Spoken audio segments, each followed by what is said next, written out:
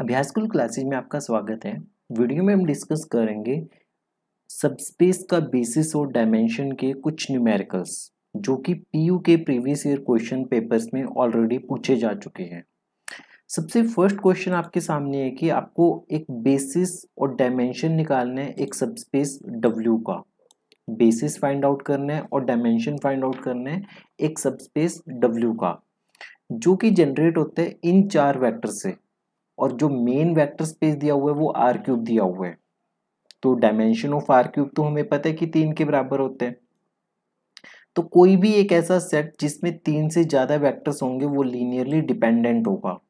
तो जो डब्ल्यू सब स्पेस जनरेट हो रहा है गिवन वेक्टर से, हम उन्हें लिखते हैं। हमने लिखा one minus one one eight four two हमने एक मैट्रिक्स कंसिडर की है with row as the given vectors और हम इसे रिड्यूस करेंगे रो एक्लोन फॉर्म में। रो एक्लोन फॉर्म में सबसे पहले क्या होता है कि हम इस एलिमेंट को ज़ीरो बनाते हैं। इस एलिमेंट को ज़ीरो फिर इसे ज़ीरो फिर इसे ज़ीरो फिर इस सेकंड इस वाले डायगनल के नीचे इन दोनों को ज़ीरो बनाएँगे और फिर इसे ज़ीरो बनाएँगे। तो रो एक्लोन फॉर्म में क्या होता है? डायगनल के नीचे वाले एलिमेंट्स को हम ज़ीरो बनाते जाएँगे। सबसे पहले ऑपरेशन लगा के हमने इन तीनों को ज़ीरो बना दिया। फिर ऑपरेशन लगा के हमने इन दोनों को ज़ीरो बना दिया। इस प्रोसेस में ये दोनों एलिमेंट्स भी ज़ीरो बन गए।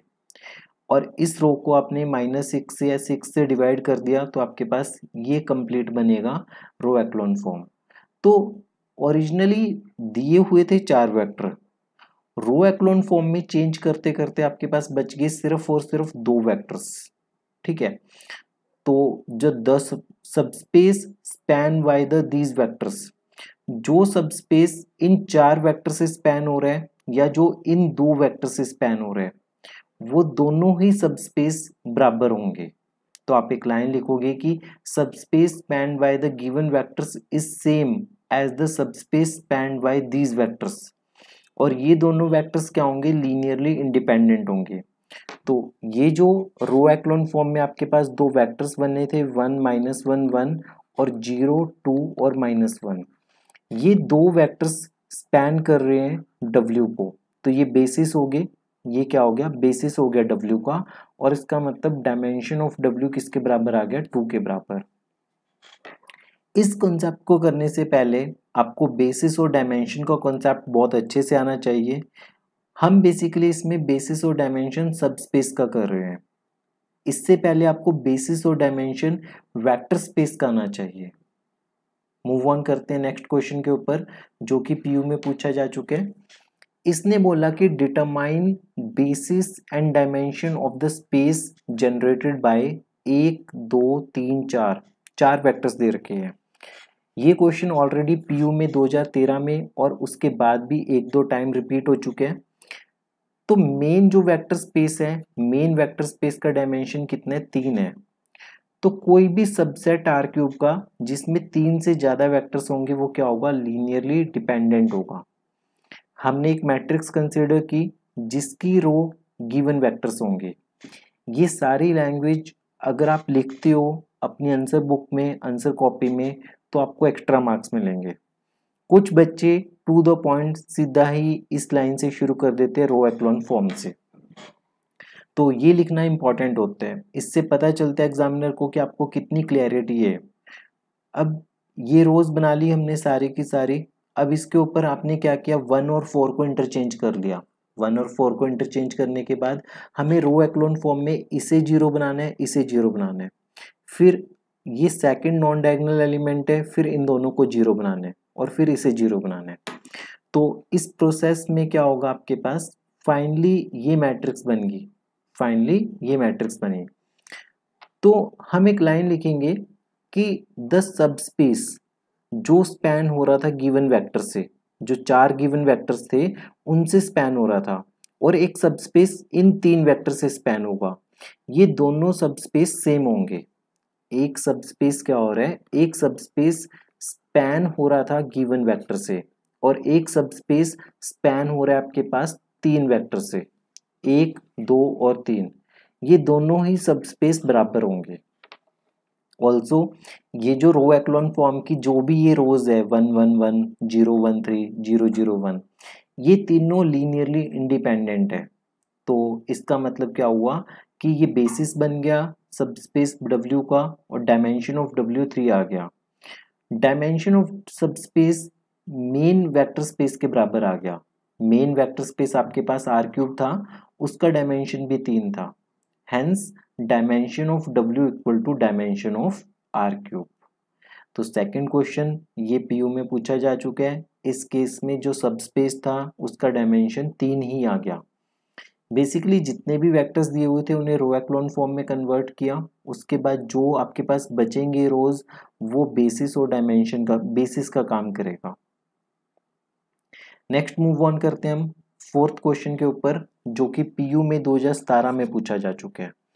अब इसमें आपके पास क्या दिया हुआ है? मेन जो वेक्टर स्पेस है मेन वेक्टर स्पेस आपके पास पोलिनोमियल्स का वेक्टर स्पेस है। पोलिनोमियल्स इसमें क्या होंगे? पोलिनोमियल्स होंगे। W एक सबस्पेस है। W एक सबस्पेस यहाँ पे हमारे पास चार पोलिनोमियल्स दे रखे हैं।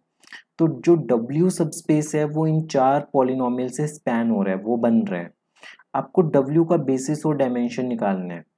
तो कोऑर्डिनेट वेक्टर्स निकाल लेंगे बेसिकली वेक्टर्स क्या निकलेंगे आपके पास? जो कोफिशियंट्स हैं पॉलिनोमियल्स के कोफिशियंट्स वो वेक्टर बनेंगे। जैसे वन टू थ्री और फाइव फिर टू थ्री फाइव एट फिर थ्री फोर सेवन इलेवन फिर वन वन टू थ्री तो ये वेक्टर्स मिल गए आपके पास। यहाँ से हमने एक मैट्रिक्स ए बना ली फोर बाय फोर की। इसे ज़ीरो बनाना है, इसे ज़ीरो बनाना है और इसे ज़ीरो बनाना है, ठीक है? तो ये ऑपरेशन अकॉर्डिंगली लगा दिया आपने। उसके बाद ये माइनस वन आ गया और इन दोनों को ज़ीरो बना दिया। इस प्रोसेस में ये थर्ड रो और ये फोर्थ रो ये दोनों ही ज़ीरो बन गई। तो इसका मतलब क्या हुआ कि ये जो दो आपके पास नॉन ज़ीरो रो आ रही है ये बेसिस बनेंगी डब्ल्यू का। अब इसको आप पॉलिनोमियल फॉर्म में चेंज कर दो तो ये क्या बनेगा? X cube two x square three x plus five और ये क्या बनेगा? Minus x square minus x minus two ये बेसिस बनेगा डब्ल्यू का। हैंस डायमेंशन ऑफ़ डब्ल्यू कितना हो गया? टू ओरिजिनली हमें चार पॉलिनोमियल्स गिवन थे। आपने इसे कोऑर्डिनेट वेक्टर्स की फॉर्म में लिखा। वन टू थ्री फाइव की फॉर्म में। और एट दी एंड जब आपने रो एक्लोन फॉर्म में चेंज किया तो केवल दो वेक्टर्स ही मिले आपको, केवल दो वेक्टर्स तो वो दो पॉलिनोमियल्स ही स्पैन कर रहे हैं सब स्पेस को। तो यही बेसिस हो जाएगा और hence it is dimension of subspace equal to two एक और क्वेश्चन है सिमिलर क्वेश्चन है। एफ़ थ्री एक्स का मतलब है कि तीन डिग्री के पॉलिनोमियल्स ठीक है डब्ल्यू उसका कोई सब स्पेस है। अब यहाँ पे चार पॉलिनोमियल्स दे दिए। डब्ल्यू जनरेट होते हैं इन चार पॉलिनोमियल से। तो इनके कोऑर्डिनेट वेक्टर्स लिख लिए, जो इनके कोफिशियंट्स हैं one minus two four one two minus three nine one तो ये सारे कोफिशियंट्स लिख के ये वेक्टर्स बन जाएँगे। अब क्या होगा आपके पास? एक मैट्रिक्स ए बना ली कोफिशियंट्स की। कोफिशियंट्स की मैट्रिक्स बनाने के बाद इसके ऊपर रो एक्लोन फॉर्म लगाई जब आपने तो ये तीनों ज़ीरो बन गए, ठीक है? उसके बाद बाई चांस ये दोनों रो कम्प्लीटली ज़ीरो बन गई। तो ये रिक्वायर्ड रो एक्लोन फॉर्म बन गई।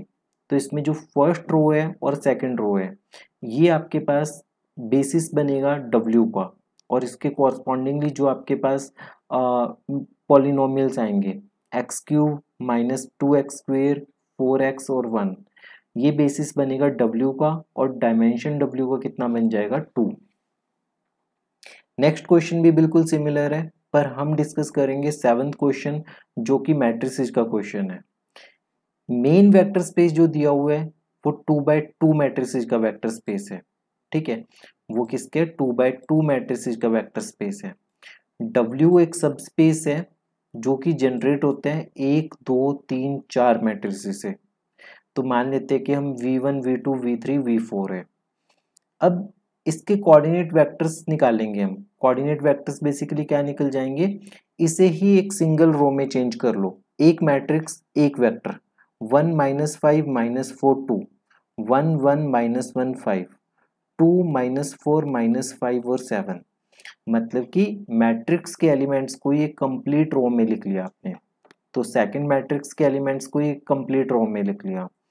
तो ये आपके पास एक मैट्रिक्स ए बनी, जिसके रोज ये सारे आ गई मैट्रिक्स को रो की फॉर्म में लिखा तो ये मैट्रिक्स बन गई। रो एक्लोन फॉर्म में कन्वर्ट करेंगे तो आपके पास ये दो ये दो रो आएँगे, बाकी दो रो ज़ीरो बन गए। तो which is the echelon form of A तो इसका मतलब आपके पास क्या हो गया? ये दोनों एलिमेंट्स ये बेसिस बनेगा। किसका बेसिस बनेगा? डब्ल्यू का। अब इन दोनों को मैट्रिक्स फॉर्म में चेंज कर दो। One minus five minus four two zero two one और वन।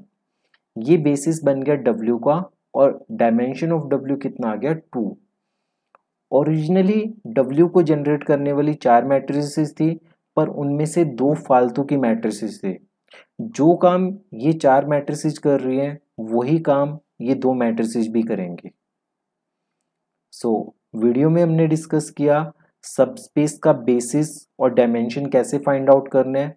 जो भी सबस्पेस दिया होगा, जो भी एलिमेंट्स दिए होंगे, उन्हें मैट्रिक्स फॉर्म में लिख के रो एक्लोन फॉर्म में कन्वर्ट करना है। बाद में जो बचेंगे वेक्टर्स वो सारे के सारे बेसिस होगा वेक्टर सबस्पेस डब्ल्यू का। और जितने नंबर होंगे, वो बन जाएगा डायमेंशन सबस्पेस डब्ल्यू का। वीडियो को मल्टीपल टाइम्स देखिए और अपना कॉन्सेप्ट स्ट्रॉन्ग कर लीजिए, क्योंकि यहाँ से एक या दो क्वेश्चन डेफिनेटली पूछे जाते हैं एग्ज़ाम में। मिलते हैं अगली वीडियो में। तब तक पढ़ते रहिए प्रैक्टिस करते रहिए।